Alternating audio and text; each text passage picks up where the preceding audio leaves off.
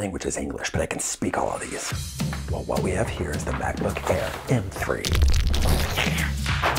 15 inches of fun right there. Time to do a little unwrapping, if you also know what I mean. Boom shaka. Impossibly in the box.